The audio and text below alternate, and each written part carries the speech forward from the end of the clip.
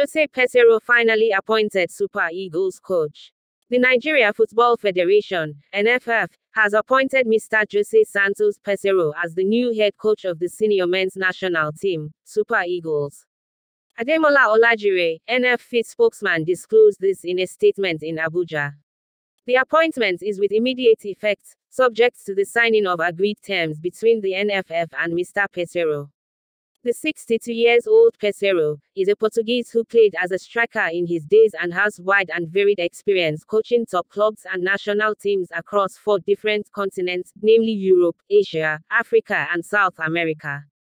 An educationist with a degree in physical education, sports sciences, Peseiro has top level coaching qualifications, training, and has coached at Sporting Lisbon, FC Porto, Panathinaikos, Rapid Bucharest, Sporting Braga, Victoria Guimarães, Al Hilal, Al Wahda, Al Ahly Cairo, Sharjah FC and Real Madrid, assistant coach during the Galacticos era, as well as serving as head coach of the Saudi Arabian and Venezuelan national teams.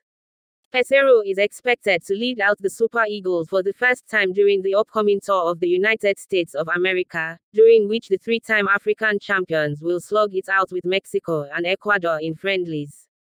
The Eagles will tango with the El Tri at the AT&T Stadium in Dallas, state of Texas on Saturday the 28th of May before flying to New Jersey to confront Ecuador at the Red Bull Arena in Harrison on Thursday the 2nd of June. you